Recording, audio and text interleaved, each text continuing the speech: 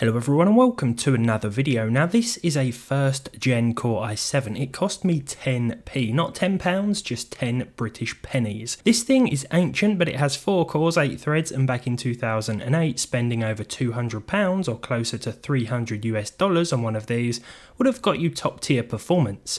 At the more modern end of the spectrum we have this Intel's latest Pentium processor, the 2 core 4 thread G7400. It's hard to recommend as it's often too close close in price to the i3-12100F, which will do much better, but I couldn't help but wonder how this modern low-end CPU compares to a high-end part from years gone by when it comes to gaming.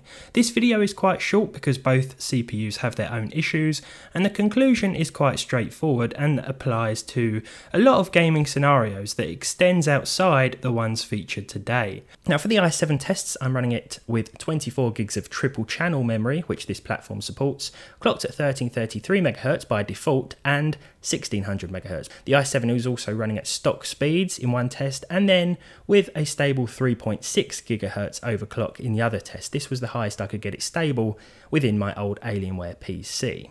The G7400 on the other hand, well, I've just slapped it in a motherboard straight out of the box and no adjustments have been made. It of course uses DDR4 or DDR5, but I'm using 3200 MHz of DDR4 today. There's no point trying to match the RAM speeds between these two because by default, if you purchase a CPU on a newer platform, you're going to get faster memory. It is what it is, but I thought it would be interesting nonetheless to see how these two compare with such a massive price difference between them these days, and of course that age gap too. Now in terms of CPU power, if we look at the Cinebench R20 multi-core result, then the Pentium does pull ahead of the stock i7 and the overclocked i7. So for what you're getting, it is a great chip, it's just priced really wrong in 20 23. For our first game, we have Cyberpunk 2077 with the high crowds, medium textures, and medium preset.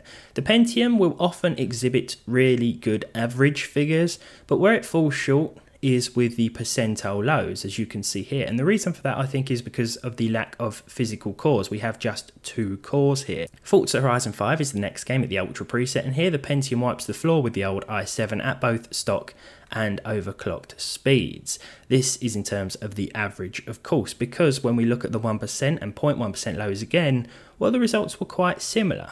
For The Witcher 3, the next gen version of the game at the Ultra preset with TAAU, the Pentium hit 55 FPS on average, which again beat the i7 at stock and with an overclock, but it was once again where those percentile lows suffered, and in that regard, it traded blows with the i7 yet again. So, as I was saying at the start, the conclusion is pretty straightforward. Often you'll see the Pentium beat the i7 in terms of an average, but it will trade blows with it with those percentile lows. So consistency is an issue across the board, to be honest. Finally, it's Red Dead. This will give weaker CPUs more trouble in towns and cities, areas packed with NPCs, but it's not all that troublesome for either CPU today. Again, the Pentium does do better on average, but all of the results were fairly consistent.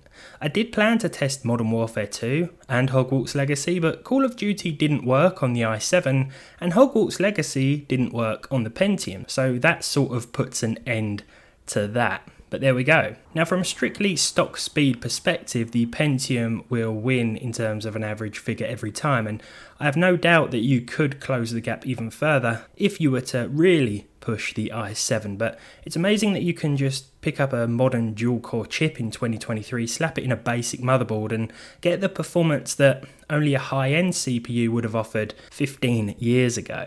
But thanks for watching. Let me know your thoughts down below. Leave a like on the video if you enjoyed it. Leave a dislike if you didn't. Subscribe to the channel if you haven't done so already. And hopefully I'll see all of you in the next one.